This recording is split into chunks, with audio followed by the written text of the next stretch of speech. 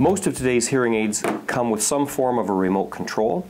These are just two examples from two different manufacturers.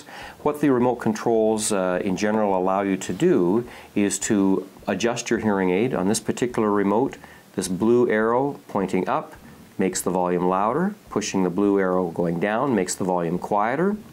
There's a mute button, that's the little one at the bottom that looks like a speaker with a slash through it. So if you push that, it will turn your hearing aids right off. So that's useful if you get into a, a very noisy environment. Suddenly a, a, fire alarm is going off or a noisy truck is uh, right beside you. You can suddenly, you, if you wish to, you can push the mute button and turn your hearing aids right off and then push it again to turn them back on.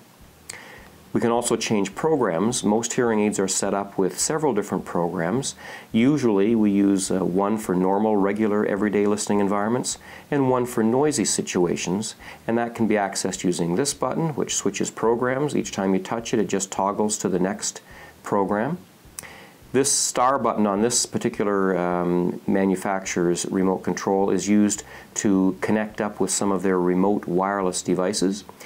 Little button in the bottom that looks like a house stands for home. That's like a, a, reset button. So when you push that, it will always bring you back to program number one at the level that we have set into your hearing aid from the beginning. So that's one manufacturer's version of remote control. This is another manufacturer's version here. An on-off control on the side, pulling it down turns it on.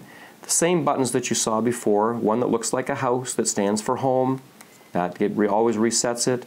The one that has a microphone on it, um, this is um, their version of a mute button, so that turns the uh, hearing aid right off and back on.